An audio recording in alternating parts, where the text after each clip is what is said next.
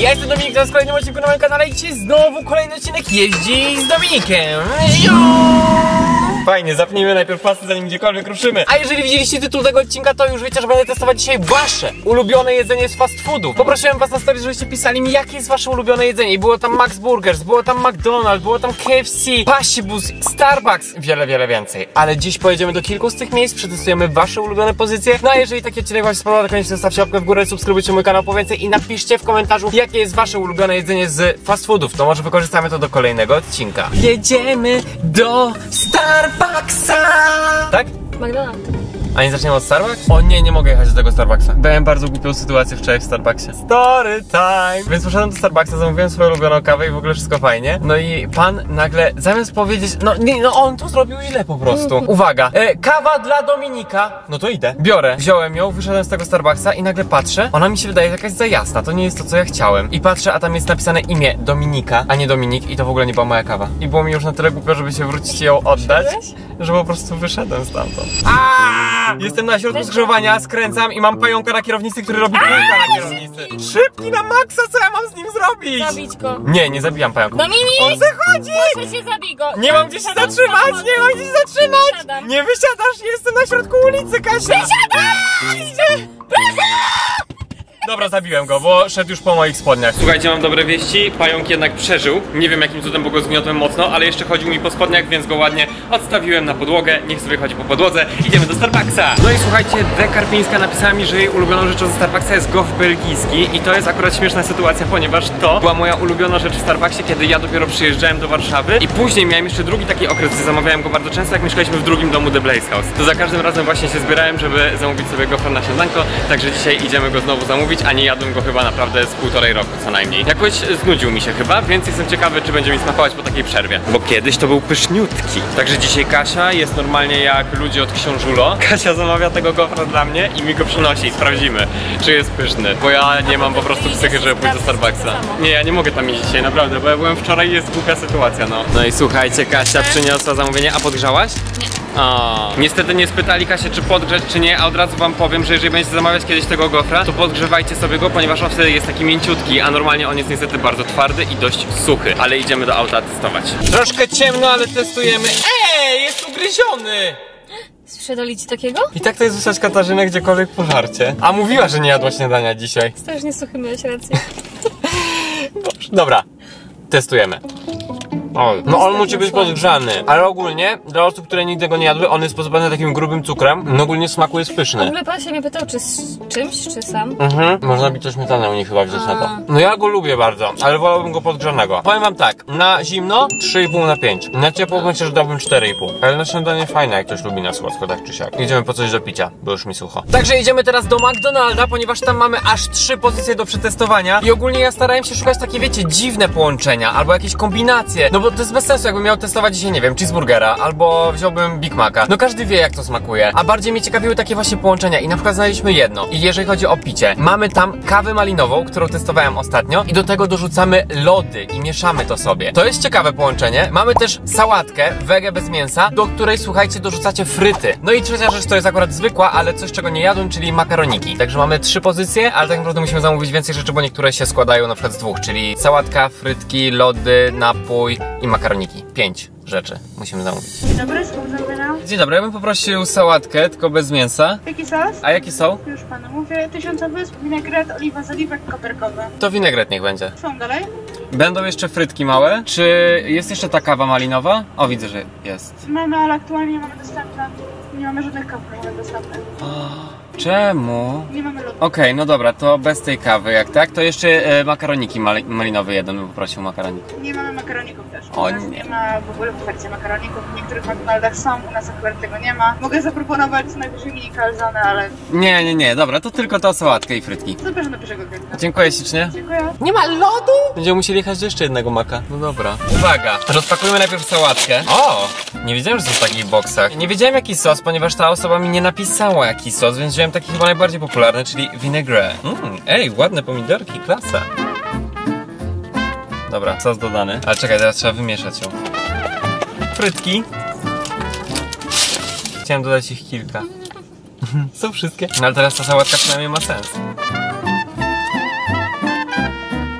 Ej, śmieszne. To jest dziwne, ale to jest fajne. Ja nie jestem jakiś bardzo sałatkowy, ale gdybym miał już jeść sałatkę, to wolałbym na pewno zjeść sałatkę z frytkami niż bez. No kurde, spróbuj. Jest to takie, że próbujesz być fit, ale jednak nie do końca. Nie jest złe, nie? Spoko, no. Całkiem klasa. Jest to dziwne bardzo, ale dałbym takiej ocenę, taką 4 z minusem. Ja nawet cztery. Ja 4 z minusem, od Kasi solidne 4. Jedźmy po coś do picia, bo dalej chce mi się pić. I jesteśmy pod kolejnym McDonaldem. Sprawdźmy, czy mają tutaj, słuchajcie, makaroniki. A przy okazji właśnie napój, który mieliśmy zamówić wcześniej, ale nie działała maszyna do lodu. Dzień dobry, witam w restauracji McDonald's, pan za mnie. E, dzień dobry, ja bym poprosił tą kawę malinową. Dodatkowo będzie jeden lód śmietankowy. I mam pytanie, czy macie u siebie makaroniki, czy nie?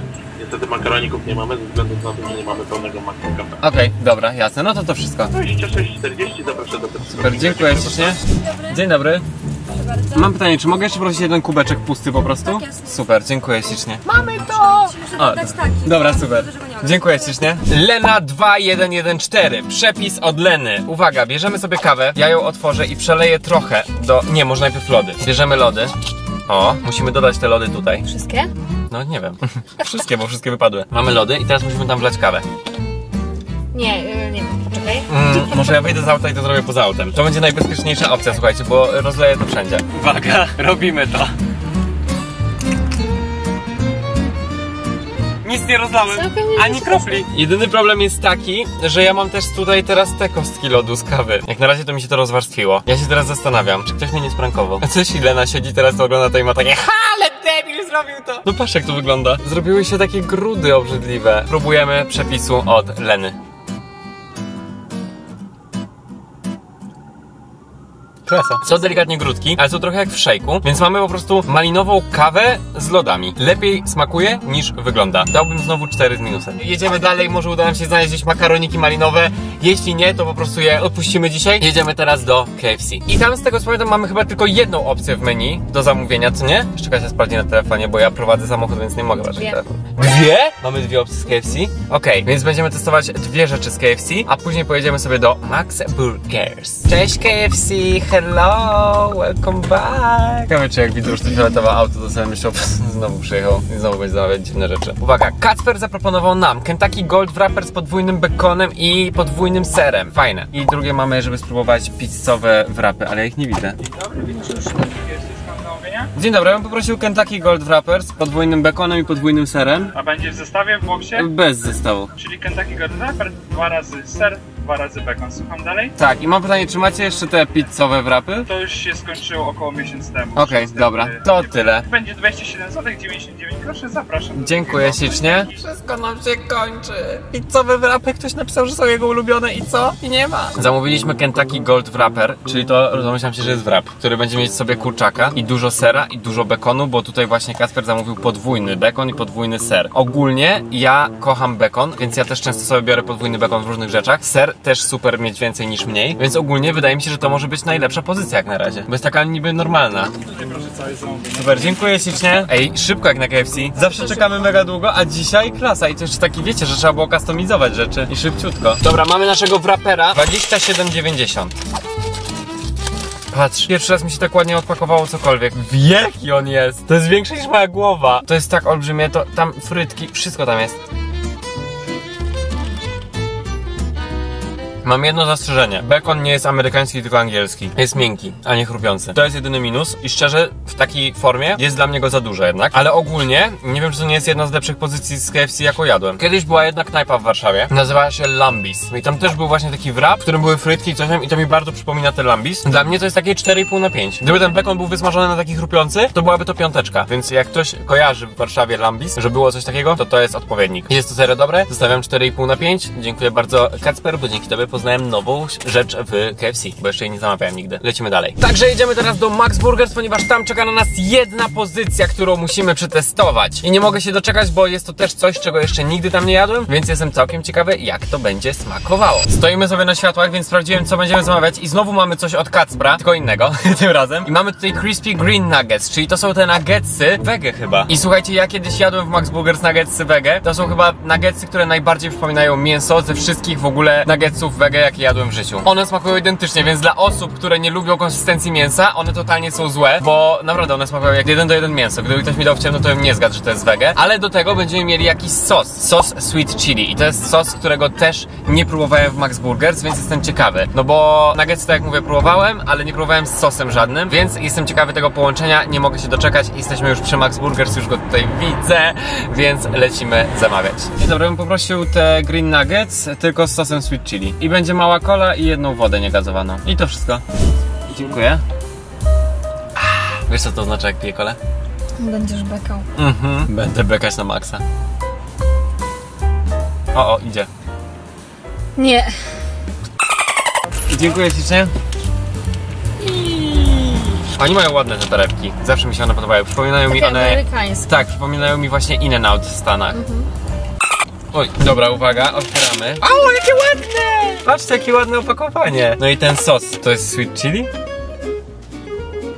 Kampania Deep. To jest sweet chili? Może wróćmy się, zapytamy. A czemu on wygląda tak? Bia... No nie może być biały. A pójdziesz, Kasia, zamówisz sam sos? Nie, idziemy wymienić to. Nie no, głupio. Nie lubię takich sytuacji, to jest jak w Starbucksie wczoraj. Ja bym uciekł już stąd najlepiej. Dzień dobry, ja mam pytanko, czy możemy wymienić sos, bo chciałem tam sweet chili, a dostaliśmy jakiś jasny, więc to chyba coś innego. Nie, to jest on. Tak, to jest wygląda. ten? Tam nie ma napisanego majonez. Nie, nie, nie, nie ma. Jest tam po prostu naklejka z datą i... Dokładnie, dokładnie tak. To jest to. A, dobra, to sadki, dziękuję ślicznie. Na pewno nie. No, podobno tak, Kasia, teraz mi głupio, bo musiałem podjechać i naprobiłaś mnie. No nie.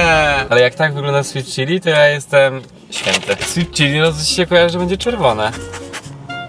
Pachnie majonezem. Ja już nie wiem, czy nas oszukali, czy o co chodzi. No pan powiedział mi wprost, że to jest ten. Spróbuję go z nuggetsem. Uwaga, jemy.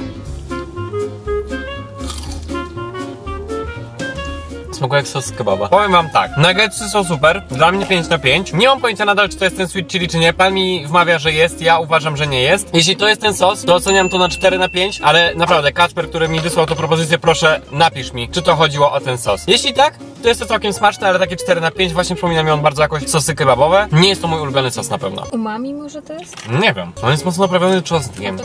Sweet chili, a może... A, bo tu nie ma sweet chili. Kacper, no! Nie ma czegoś takiego jak sweet chili, więc to pewnie jest umami, a on może chciał słodko-kwaśny, sweet and sour. A może to jest ten majonez jalapeno? Nie, już nie wiem, dobra. Poddaję się, okazuje się, że nie ma takiego sosu. Stwierdziłem, że nie odpuszczę i jak już powiedziałem, że przetestujemy te makaroniki i sprawdzimy, czy się poprawiły, czy nie, bo kiedyś mi nie smakowały, to musimy je dostać.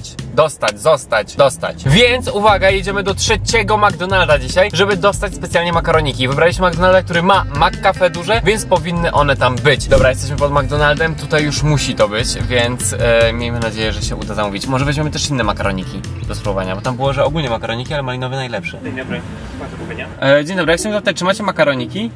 Mamy, tak?